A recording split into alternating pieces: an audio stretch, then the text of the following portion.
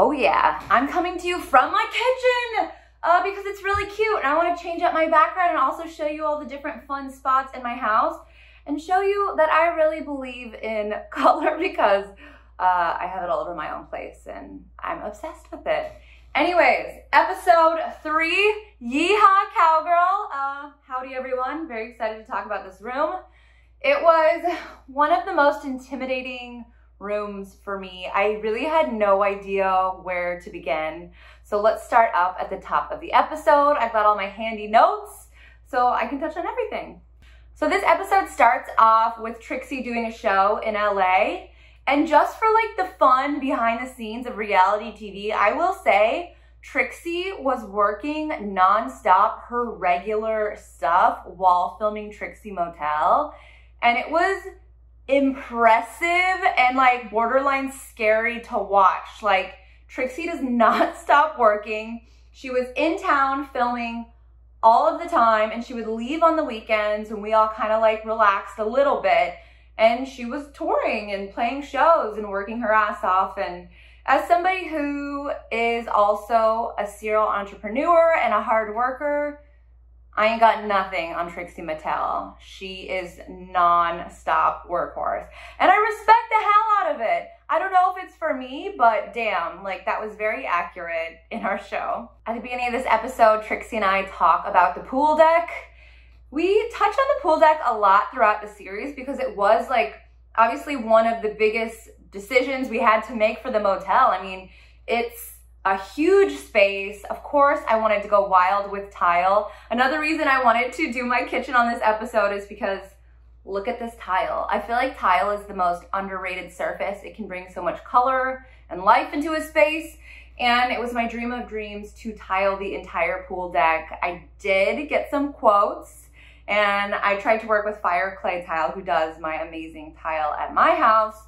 Um, but damn, it's just expensive. And there was so much square footage with the pool deck. And the more square footage you have, the more tile you need and the more it costs to install. And we were worried about things like slipperiness, which is one thing to consider, but there is different versions of tile like concrete tile or tile with different um, coating that does make it non-slip. So I really tried for tile, but unfortunately it wasn't gonna work. But luckily we made the pivot to painting the concrete. One of my biggest goals for the pool deck was to paint a mural on the bottom of the pool deck. Uh, that was also not allowed by the city as we discovered many things.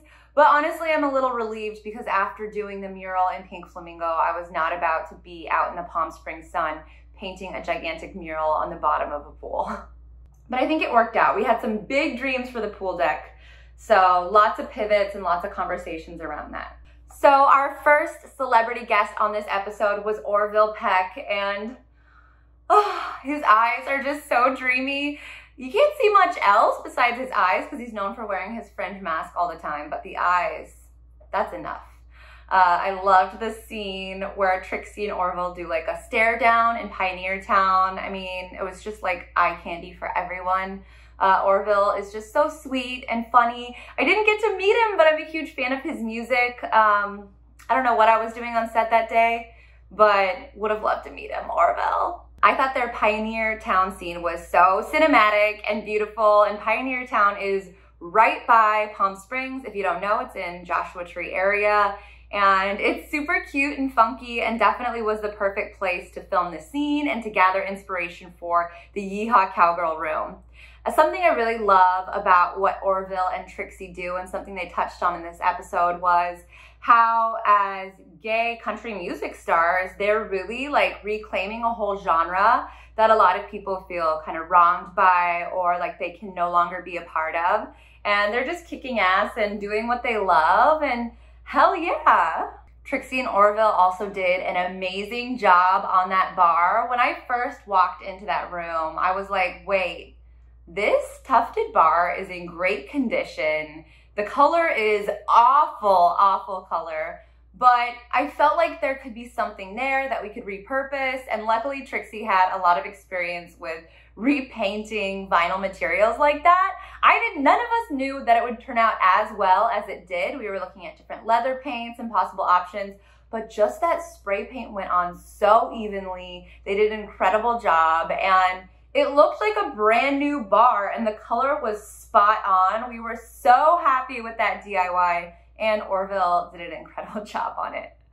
So I was born and raised in California and when it came to designing a country themed room, I feel like I was really out of my depth. It's not really something I know a whole lot about. I'm very much into like the more 70s retro California vibes, but I was ready to take on the challenge and I really wanted to impress Trixie who was way more in that world than I was, yet I was designing this room for her um, and trying to meet those expectations.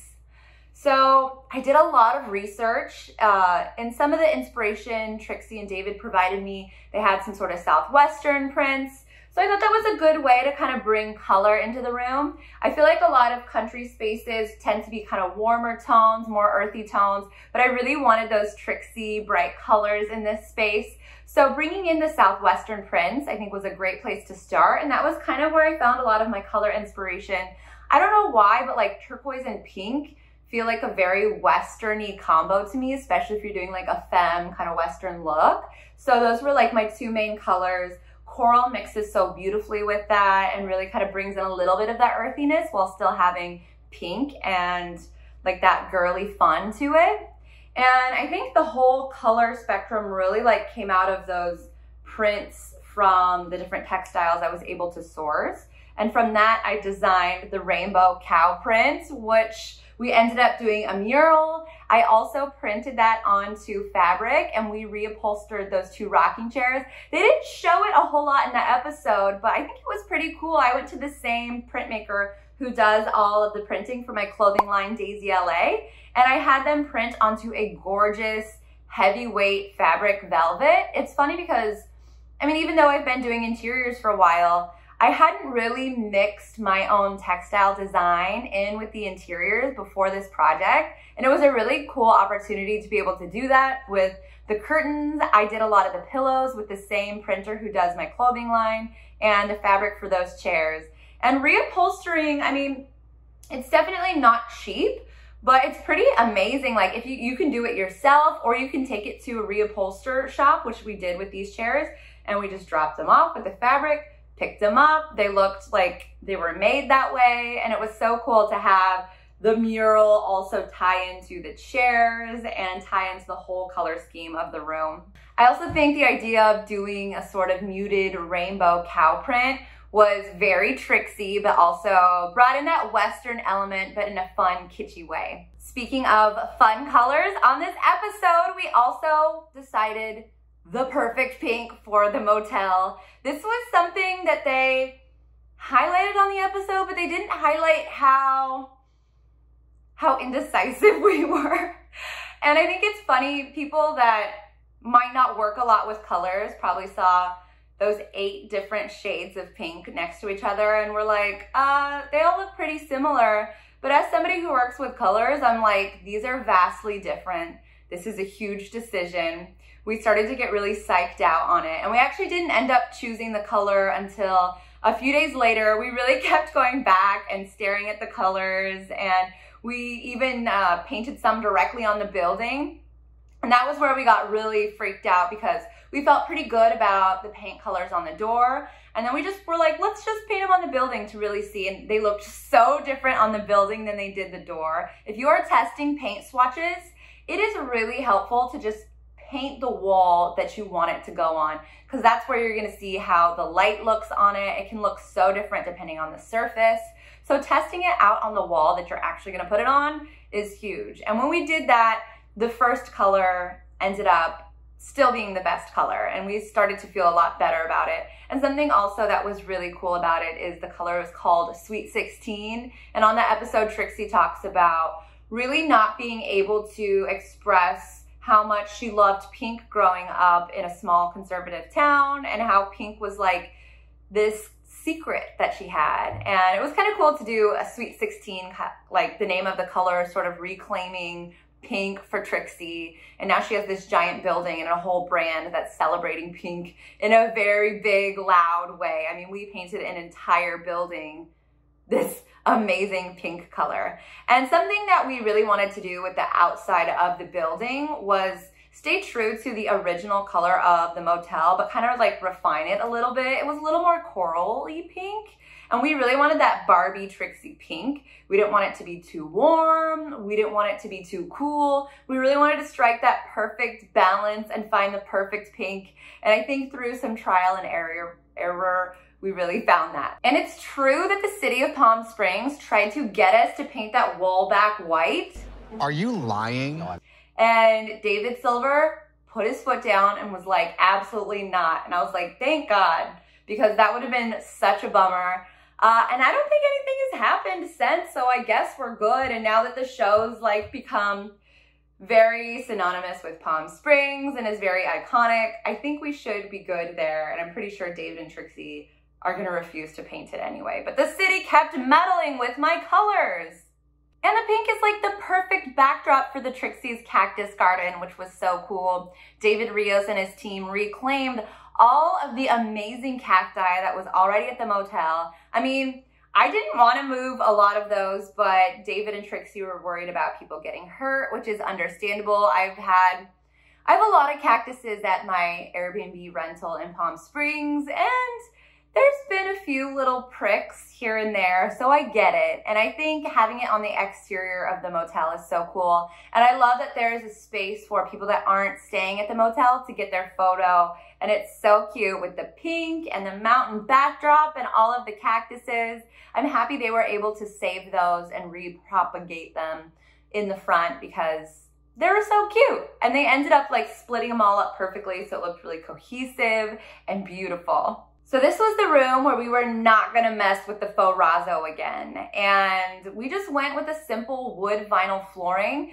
This was right after we had the faux razzo incident. We didn't really have an idea what we were gonna do with the other floors yet. So this was sort of our pivot that we were able to do really quick. It's a durable floor and it worked very well for the Yeehaw Cowgirl theme, having the wood floor. I did a lot of chestnut wood colors in that room. So I was totally fine with doing that. And I think it turned out pretty cute. There was a cut scene that was probably one of my favorite scenes that we did where we bring in the wood floor and we're looking at all the different colors. And then David Rios tests or like more or less shows us how durable the floor is by dancing on it with these stilettos. And I guess David had never worn high heels before and it was a really funny moment and we were all cracking up. So I'll post some behind the scenes of that on my social media. Um, but it was really, really cute. Reveal time. So Brittany Broski was our second celebrity guest and the pressure was on. I mean, she's from Texas and I'm from California and I was here trying to design this room to pass off as a cowgirl room. And they had somebody actually from Texas coming in and essentially judging my room. So I was definitely nervous, but her reaction was hilarious and amazing. And I'm really, really happy they liked it. And I think I was able to sort of take the cowboy theme and put my California girl twist on it. It still felt colorful and kitschy like Palm Springs, but also cowgirly enough. And there's a lot of different elements in this room that were very on theme that I think helped me kind of strike a balance between cowgirl and California. One of my favorite reactions in this room was Trixie seeing her face in the wallpaper. I didn't realize she hadn't seen that before that moment. And it was just one of those things that I thought was kind of cute to throw in my wallpaper design and like have it be more cowgirl Trixie themed and her reaction was so priceless. I'm so glad she was able to like recognize herself right away in that. I also put the pink guitar and a bunch of other elements and I was inspired by those really cute like vintage western flannel fabrics that have like landscapes in them and being able to put in a bunch of different western motifs along with Trixie and that landscape feel just turned out really cute.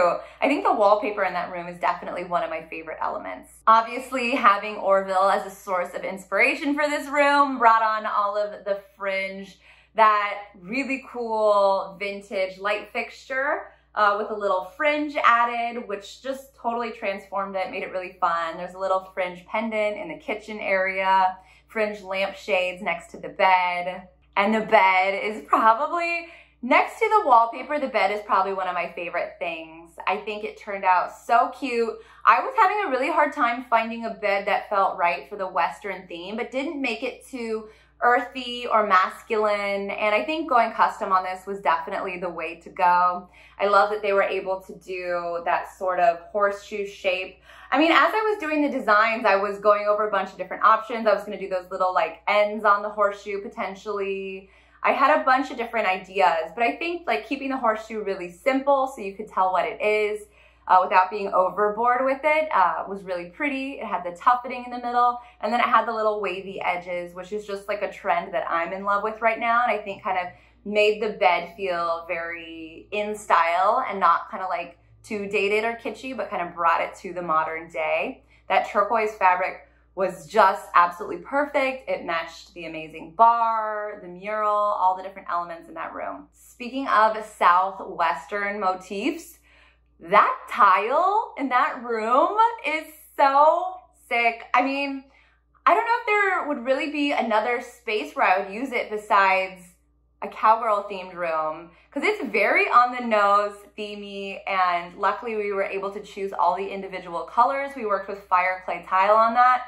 Same as my backsplash right here. And what's cool about Fireclay is they're hand painting all their tiles. So you can choose all the different colors that go into all of the shapes. And we were able to pick the perfect colors to match all of my different designs in that room. And as you know, I love coordinating moments. I love when all the colors are cohesive and make sense. So being able to do the custom bed, the custom mural, the wallpaper, and the backsplash in all matching colors really just brought a beautiful color story and made the room look cohesive and put together, even though it had a bunch of different things going on and different patterns and different colors. So one of the super Western things in this room was the bar chairs, and I actually sourced that from a restaurant sourcing website. So those are like the old school Western bar stools that you would find at actually a Western bar, and luckily they had it so you can customize the color and uh, the color of the metal and the color of the vinyl. And they're very heavy duty commercial grade restaurant saloon chairs. And they're really cute. Like the fact that we were able to pick the colors on those made it really special. Some of the other custom things or like little things that we changed out in that room are all of the pools. I'm glad they highlighted those on the episode because we were able to find horseshoe pools. We were able to find cow boot pools. We switched out the knobs on the drawers, dressers, which is also, these are all switched out at our house and it's something that I like to do in spaces one of those little details that seem so small but makes such a big difference and makes you think, wow, everything in this room is really thought out and special. Even the little side tables when you walk in, we changed out the pools on those and it made it feel special and custom to the room, and again helped nail that cowgirl theme. And the custom stained glass in this room was so beautiful. I love that it actually looks like a desert sunset, like you're looking out of the bathroom into a landscape with the desert sunset. And again, we did that same reglazing, a couple of the things in the bathroom, like the mirror shape, the lighting, the lighting in the little glam room is like a horse or like a wheel, carriage wheel. So there's just lots of tiny little details that I think really make the cowgirl theme work. But the colors and the different elements still felt on trend, still felt youthful, still felt Palm Springsy, not too dusty. And to get Brittany Broski's stamp of approval was amazing. And I felt so good about the room. And I will say, even though this was one of the scariest rooms for me to design. I think we hit it out of the park and everyone's reaction just made me so happy, especially Brittany's and all of you guys. So thank you so much. You made this California girl feel really good and not like a total imposter. Thank you so much for tuning in. Another Trixie Motel recap, episode three, Yeehaw Cowgirl. Tune in next week for another recap here and make sure you like, subscribe, comment, follow me on Instagram at Dani Dazey. TikTok at Dani Dazey, shop my clothing line, Dazey LA, and make sure you're watching Trixie Motel on Discovery Plus. Thanks, guys!